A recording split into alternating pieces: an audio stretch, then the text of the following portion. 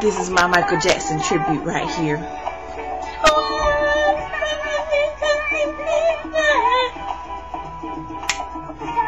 One day I'm gonna learn the words.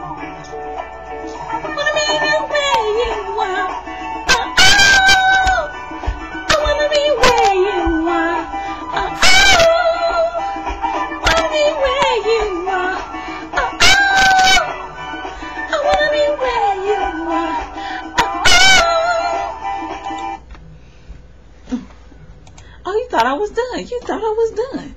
Hold on.